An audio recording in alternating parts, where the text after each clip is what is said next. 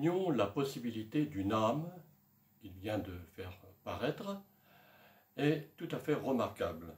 C'est un beau livre de, on va dire, presque 200 pages avec euh, les sources. pourquoi c'est une petite merveille?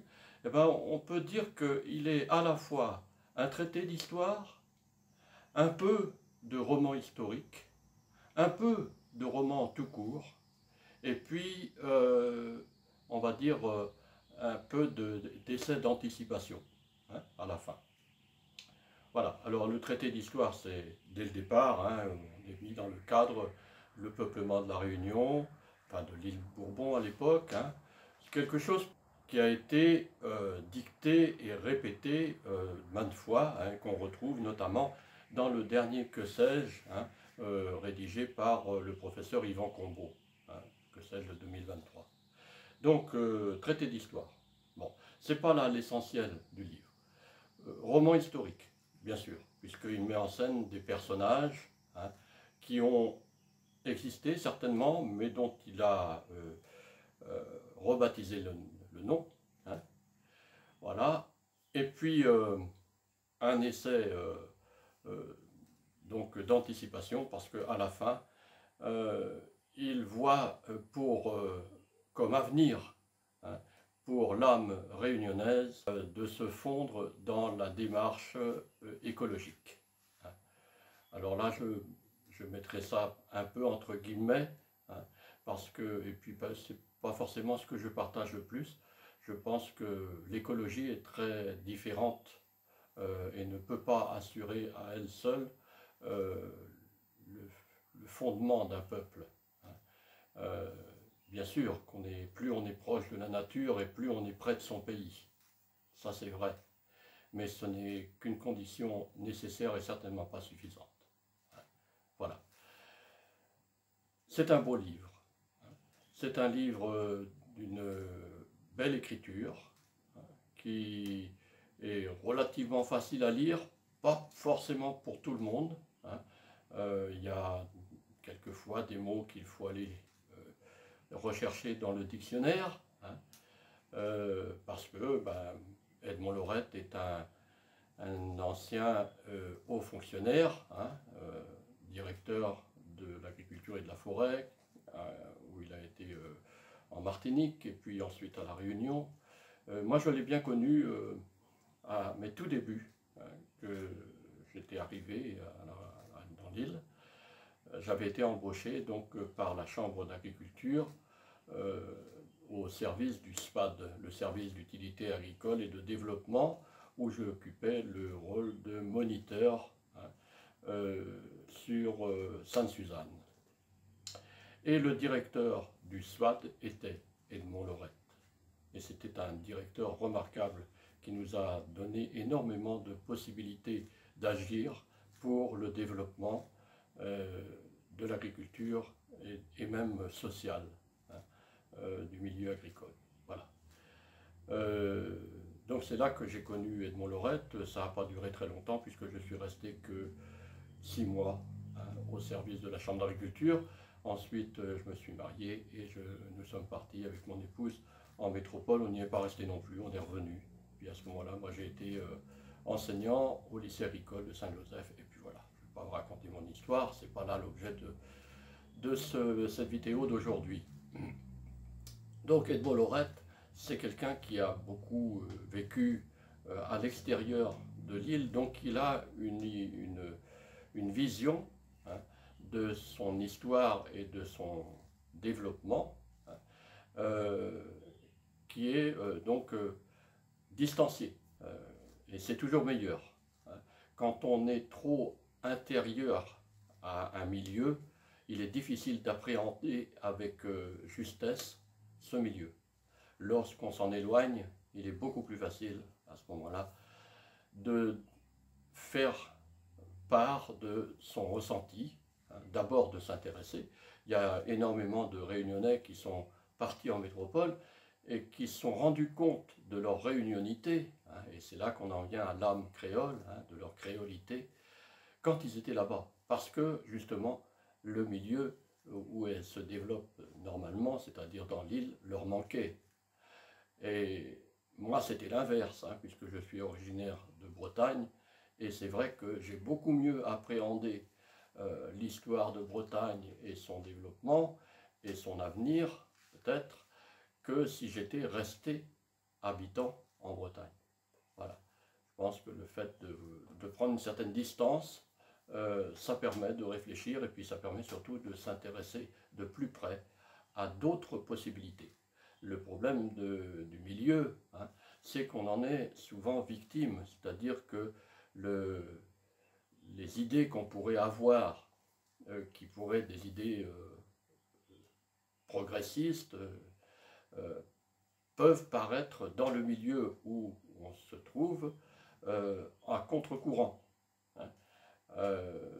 voilà, donc je, je, sais que par exemple, dans mon pays natal, hein, le pays nantais, ceux qui ne veulent pas entendre parler de la Bretagne euh, sont des adversaires farouches, hein, à la moindre idée que le pays nantais serait breton.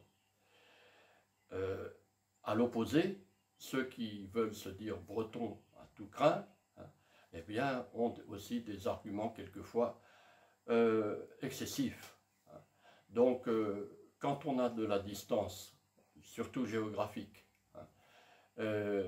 on a quelquefois des positions moins tranchées, hein, des réflexions plus mûres. Hein. voilà tout l'intérêt d'aller de temps en temps euh, vivre ailleurs. C'est ce qu'a fait donc Edmond Lorette, et c'est pour, pour, ça certainement aujourd'hui qu'il écrit. Hein. Il en est à son quatrième ou cinquième livre, je crois. Euh, je n'ai pas tout lu, j'en ai lu au moins un, et puis celui-là, euh, je ne l'ai pas d'ailleurs totalement fini celui-là parce que la fin euh, me, me, laisse un petit peu sur ma réserve, je dois dire. Hein. Euh, je ne fais pas de critique, hein, mais j'aurais préféré une conclusion plus, plus engagée politiquement. Voilà. Hein. bon, ça c'est dans mon tempérament. Moi j'ai toujours été engagé, notamment pour le droit euh, à l'autodétermination. Euh, là, il en est très peu question hein, euh, au niveau de la Réunion, alors que, ma foi, la question reste posée. Hein. Et à terme, il ne faut pas se faire d'illusions, pour ceux qui veulent à tout prix que la Réunion reste française, à terme, la Réunion deviendra un jour indépendante. Quand? On n'en sait rien peut-être euh, dans 10 ans, dans 20 ans, dans 100 ans. Hein. Mais euh, il est impensable qu'un confetti du colonialisme, de l'empire colonial français, euh, perdure éternellement. C'est pas possible. D'abord parce que tout autour, les autres pays sont indépendants. Maurice est indépendant, les Seychelles sont indépendants, Madagascar bien entendu, les Comores, reste le problème de Mayotte aux Comores, hein, bien sûr, qui est un problème insoluble pour l'État français, qui ne pourra être solutionné que par euh, la partition de Mayotte pour qu'elle retourne dans les Comores, dans les îles Comores. Voilà. Hein. Alors, euh, sinon, c'est un très beau livre, hein, qui est agréable à lire, qui est bien fait, avec... Euh, une suite chronologique, logique, et puis euh, des petits paragraphes par moment qui sont pleins de bon sens. Hein. voilà tout le compliment que je peux faire. Hein. C'est un livre de bon sens. La réunion, la possibilité d'une âme, oui, l'âme des peuples, même les plus petits, existe bien. Alors maintenant reste à définir ce qu'est une âme d'un peuple, on sait déjà difficilement définir ce qu'est l'âme d'une personne. Et certains contestent l'existence de l'âme. Hein. Les athées euh, disent que l'âme, ça n'existe pas. Eux, ils considèrent seulement l'esprit comme étant l'émanation des élucubrations du cerveau. Et uniquement ça. l'âme, ça dépasse un petit peu euh, ce phénomène, hein, puisque à ce moment-là, on considérerait le cerveau comme un genre de récepteur, hyper super récepteur, qui se mettrait en phase avec la conscience qui serait donc extérieure à nous, et c'est là qu'interviendrait l'âme de l'individu, pour lui permettre de se mettre en phase avec la conscience qui serait extérieure. C'est une euh, hypothèse, hein, la possibilité de la conscience extérieure, mais qui est de plus en plus euh, défendue par des grands professeurs de médecine, hein, euh, ceux qui ont notamment, qui sont intéressés au problème de la mort imminente, hein.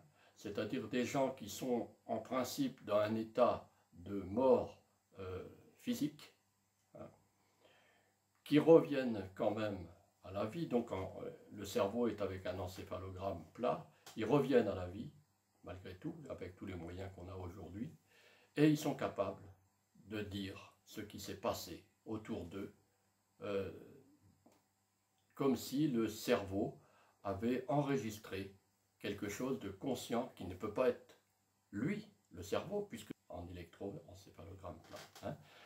Donc euh, voilà, c'est les, expériences de mort imminente, il y a de plus en plus de médecins qui, s'intéressent à ça, et qui euh, donc euh, en concluent que la conscience ne serait pas seulement un phénomène issu du cerveau, mais serait quelque chose d'extérieur et que donc quand un individu naît, hein, quand il est formé, eh bien il accède à cette conscience, et quand il euh, meurt, il ne peut plus avoir accès à cette conscience, mais cette conscience continue d'exister.